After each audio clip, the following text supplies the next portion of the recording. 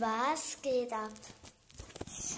Ich wollte euch jetzt nur noch das Zimmer zeigen, weil ich es unbedingt sehen wollte. Bis gleich.